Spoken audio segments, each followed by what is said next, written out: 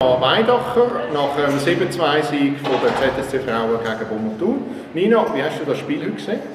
Ähm, sehr gut. Ich habe das Gefühl, wir sind, ähm, das ganze Team ist sehr gut ins, ins Spiel gekommen und ja, wir haben sehr gut zusammengespielt, hinaus können spielen und so haben wir dann auch die Goals geschossen.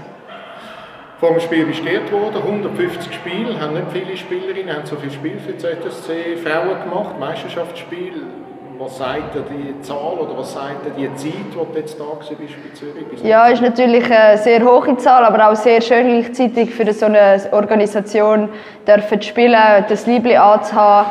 Ähm, ja, nein, wirklich macht mir mega viel Freude und ich hoffe, es kommen noch ein paar Spiele dazu. Ja, das nächste Spiel kommt schon bald. Nächsten Samstag Halbfinale im Cup gegen Lugano. Es hat es, glaube ich, seit 2010 nie mehr in einem Halbfinale von Cup oder Meisterschaft gegeben. Was erwartest du von dem Spiel?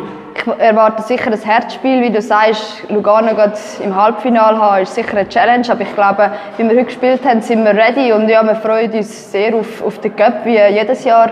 Und ja, das kommt gut, dass wir dann am Sonntag im Finale stehen. Danke, Nino, und viel Glück. Danke vielmals.